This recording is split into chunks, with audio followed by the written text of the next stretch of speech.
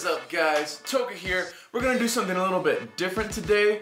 Um, the Nintendo Switch Indie Showcase is going live today uh, about, um, I think it's 9 o'clock? 9 o'clock uh, standard Pacific, time, which is about 10 o'clock where I am. Um, and I thought I would videotape myself watching it to give you guys kind of a live reaction.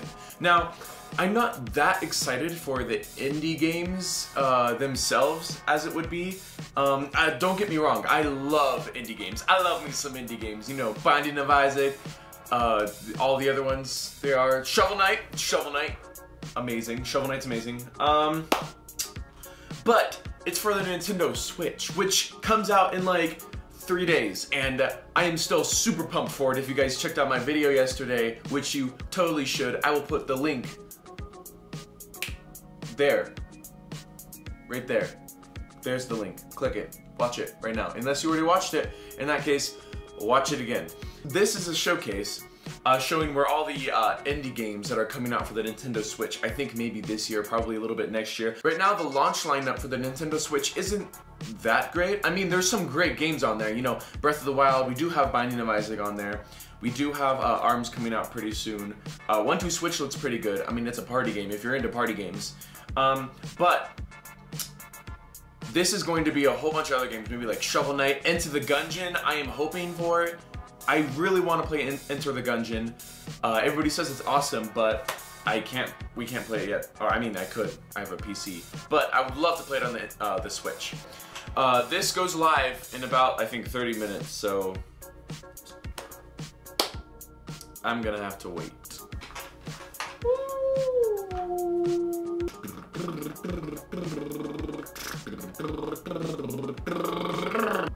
Oh my gosh. There's a live chat. Nintendo is the bomb. Got him. Oh no! I just got all the new uh, Legend of Zelda amiibo. Is uh, this one? It's the 8-bit Link. Uh, Zelda. Um, I don't know who that is.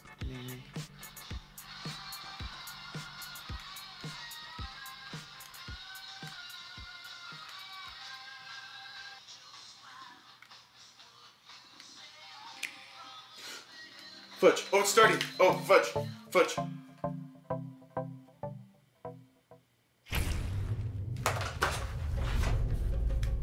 Oh, it's starting. Fudge. Oh, it's starting. Oh my gosh. Okay. SteamWorld Dig 2. SteamWorld Dig 2. Um, I didn't play the first one. Nintendo Switch, that's cool. I'm, I I was thinking about playing SteamWorld Dig. Oh, it's so cool. Uh, I think I would pick this up because I was actually wanting to play SteamWorld Dig for a little bit. And dig deep, okay. really deep. Adventure deep. awaits this summer. Really deep. SteamWorld Dig example of what Nintendo Switch was built for. Amazing content that puts smiles on faces. Our have Hey, been working the smile on my face. I love the Nintendo Switch. I mean, I hope I will. To secure a constant flow of this is the magic of independent development. What is that? Their efforts I want that, the Nintendo snake one. privilege. Oh yes, Shovel Knight. It's our mission to prioritize I'm excited. of content. Oh, that that's a racing one. On Nintendo Switch. That's a racing one. to- Okay. Today, you'll see some incredible new games that we've Yeah, I curated want to from this community. I want to see incredible new games. With key partners, That's me. Including a few surprises, starting with our friends Surprises? from 2017. There's surprises. I love that. Like click. Okay, is this the snake? No, ukulele! Oh, I already knew that was on there though. I love ukulele though. Yes, but when is it coming out? Because if it comes out the same time as the other ones, I'm getting it on the Switch. Like, there's no question about that. Oh, I'm so excited for this. Banjo Kazooie, one of my favorite games ever. Oh my goodness. This game is gonna be so good. It's gonna be so good.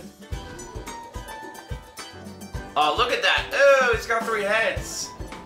Ooh, there's racing. Really? That would be really cool on Nintendo Switch. You know, just play, you know, be like, sup, dude, you wanna play? Be like, yeah, dude. And then you... Oh, I'm excited. Okay, just 2017. edition. Overcooked? It's the ultimate arcade-style couch cook-off you didn't know you needed until Huh. this smash hit That actually looks kind of fun. feature The Escapists. This Not heard of that either. Hugely round up Oh, wait! drop-in, drop-out co-op I played the for up to first one. Players. I didn't like it Imagine that you and much. three buddies, a roguelike What is it? platformer Goner. Goner. He's out to find a gift for Oh, his own whale cute. friend Sarah await you I love the art style of this. It's really so cool. It's prepare like- to slay creatures, take down bosses, and Um, of course, rack up combos when the game I don't know what launches first on Nintendo Switch as a timed exclusive with additional content that's tailored Timed exclusive. Also looks kind of like Super Metroid. There aren't any dates though. It's all just like this summer and stuff. Kingdom Two Crowns is a stirring Oh. tale in which you, the ruler, can bring about hope or despair depending on the choices you make. Okay. Will you stand with your people and bravely face the consequences? Hmm. Grab a friend and find out later this year with the debut of the new That's pretty cool. I love it. Oh, Bit Trip Runner 3? Oh, I love that game. This is the first one. I love that. Oh, it's such a good game. Oh! What is that? Oh my goodness. I don't want to play this anymore. Run and Gun. For a lot of players, these words harken back to an Is entire Enter the legacy of excellent action games. And no one knows that legacy better than Inti Creates, who brought us classic franchises like and- Mega Man and Azure Striker Gunvolt. Now they've turned their Enter the attention to a gaming legend. Say hello once again to Sophia the Third. Oh, It's been a while, okay, but finally okay. a new entry in the. Blaster Master series will Wow, be released in the form of Blaster Master Zero. Blaster And the same Master Zero. Blaster Master is really cool. Game, its incredible scope are back. That's cool. with a hit That looks combat, super cool. Top-down adventuring. and a I love those games that sci-fi look like the old landscape. It's all NES, here uh, Super NES Switch. games. Super cool. Look forward to a two-player mode and some surprise cameos Oh, when I don't know, Blaster that's Master Zero launches March exclusively on Nintendo Switch and Nintendo 3DS. Yes! March 9th. For Okay. Penny dough, death had a She's so creepy. Or was that he? Or oh, ow. Well, I did once temp in a kindergarten. Oh! Thanks Oh, that's so cool. support. HD Rumble. Yes. That's I really one want to of play games many that. reasons all hope hangs A seed. In your It's a game world about a with more than seed? 30 unique upgrades. It's just a seed. Don't let the art style fool you. Pocket Oh! Is one deep 2D fighter. Yes. Fans of the genre will have a blast. Oh, that's so cool! Combat mechanics, while casual players. Oh, I've always wanted to play fun like a super old, control like 16-bit It's two, kind uh, of game that fighter like want this, to throw down like a 2D anywhere, fighter. anytime. I've And always wanted to do that. do I've that. always- Joy-Con Yes! for on-the-go competition. Oh, that's awesome. Whoa. Whoa. I'm so excited for the Switch to come out. I can't even wait. I've never really been into RPGs, but I'll have to see how this is. I'll have to check it out. Looks just like Advance Wars though, which everybody says is amazing. There I'm playing that. Go check that out. Yeah, and the ability to local take the console multiplayer experience is the thing I'm excited for Make the sure most. Man, that was awesome. That was really cool. Um, I am glad to know that there's going to be a bunch of really cool games, like indie games, on the eShop, uh, especially day one at launch. Because you know, the only really game I think I'm going to pick up is um, uh, Breath of the Wild, which is mostly everybody. Maybe some people might get one two Switch. I might even get one two Switch just because it's a really cool party game to have uh, whenever people are you know coming over for a party. So maybe actually I, I think I'm going to get it. Um, Binding of Isaac I was going to get, but now there's other things I can get. I'm really excited for that one uh, fighting game. I think that was the thing I'm most excited from seeing that. Uh, Yooka and Laylee, I already knew about that, but that game, awesome. Shovel Knight, love that game. I'm definitely gonna pick that up. Alright, so after I watched the indie showcase, I went online to check all the other indie games maybe they didn't uh, announce in the showcase, which is weird to me. Like, why would you have a showcase uh, showing all of your new indie games, but not show all of them? Only show like like a fifth of them. I don't know, it's weird. Anyway, Nintendo's weird, but awesome. Anyway, so I looked it up and there's so many more indie games. Like, so many awesome indie games that they didn't even announce. So I made a list of my top 10 indie games that are gonna come to the Nintendo Switch. And they're all coming out this year, if not in the next couple months, which is awesome. Number 10 is Hollow Knight.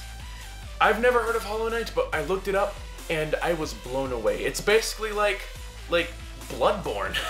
like a 2D Bloodborne. At least that's what it looks like. It looks hard. It looks kind of like a mix between Bloodborne like think of Super Meat Boy in the style of Bloodborne, but with some more action RPG elements in there. That sounds Awesome, I am totally down for that. Number nine is Snake Pass. Snake Pass looks just like Octodad, but with a snake. Octodad is hilarious. The first time I played Octodad, I laughed so hard.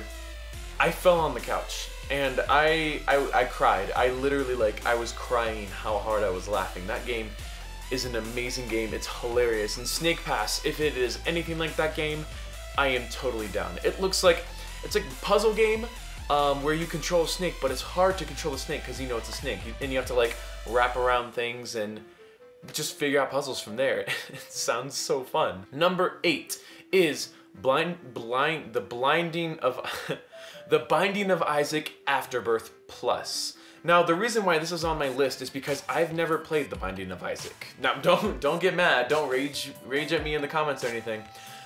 I just, I don't know. I've never played it. I mean, I love Legend of Zelda. Everybody says it's like a roguelike, origin, like the original Legend of Zelda, like the dungeons and everything. I just, I don't know. I never played it. But now that it's on the Switch and it has everything in it, Afterbirth Plus, it's supposed to have all these extra endings and characters and stuff. I will totally check it out. Number seven is Shovel Knight Spectre of Torment.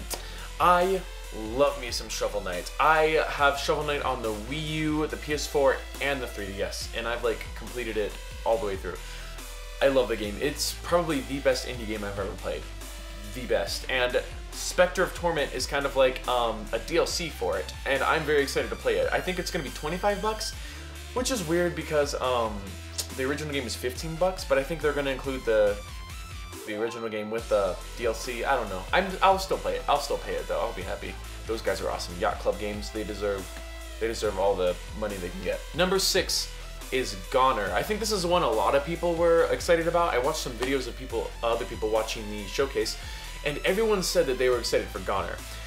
The art style is beautiful. I there's it's supposed to be super hard, which is pretty cool. I've been getting more into hard games lately.